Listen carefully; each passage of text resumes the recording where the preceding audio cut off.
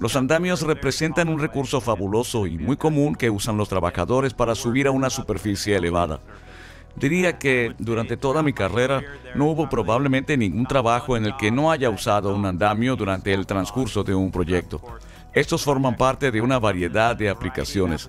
Yo diría que un andamio Baker, multipropósito o portátil, o andamio convencional es la forma más común, pero hay plataformas oscilantes, andamios mecanizados, guindolas. Existen muchas, numerosas aplicaciones para los andamios.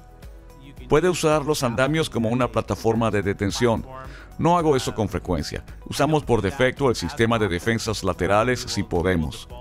Una de las cosas más importantes y fundamentales en cuanto a las operaciones con andamios es que el empleado tenga una formación adecuada. Y me refiero a una formación realmente adecuada del empleado que va más allá de una etiqueta roja o una etiqueta verde que cuelga en la parte inferior del andamio.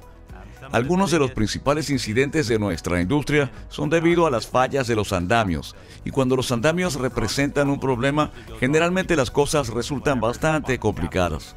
Y cualquier cosa que esté arriba del andamio puede caer, y lo que está debajo del andamio, se sabe, corre el peligro de que eso lo golpee. Es esencial que los trabajadores que se suban al andamio sepan las instrucciones del fabricante y que estén capacitados para reconocer si ese andamio es seguro para trabajar o no. Algunos percances comunes con los andamios son debido a los entarimados. Debe asegurarse de que no está usando madera dimensional para el entarimado, que está usando un entarimado aprobado por OSHA, que sus entarimados tengan una superposición adecuada de una tabla a otra y de una sección de andamios a otra sistemas de crucetas transversales completos. En los andamios convencionales, que hay crucetas transversales ubicadas en todo el sistema, y si se sobrepasa ampliamente la altura del andamio, el andamio estará asegurado contra cualquier estructura en la que se esté trabajando.